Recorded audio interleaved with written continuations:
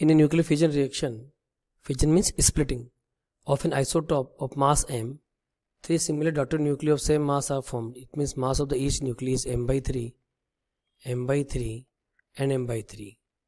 The speed of the daughter nuclei in terms of the mass defect, we have to calculate the speed of the daughter nuclei v. All are having the identical bodies, so mass will be same that is v, v, v. Kinetic energy will be also same. So kinetic energy of each body will be given by half mv square. So half m by 3 into v square. So total kinetic energy we will calculate because there are three identical bodies. So 3 into half into m by 3 into v square we will calculate it is half mv square.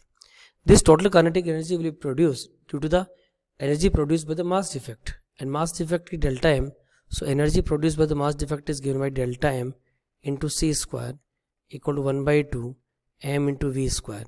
So v square is 2 delta m into c square upon m. We have to calculate the value of the v. It will be written as c root 2 delta m upon m. So right answer of this problem is option 3 that is c root 2 delta m upon m.